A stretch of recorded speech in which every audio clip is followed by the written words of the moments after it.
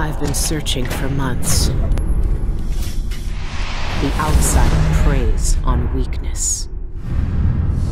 A fear that grips your throat, bends your spine, leaving only blood and death in his wake. I've seen the people he's twisted with poisonous magic. He's played God for too long. I'll find out if he can still believe.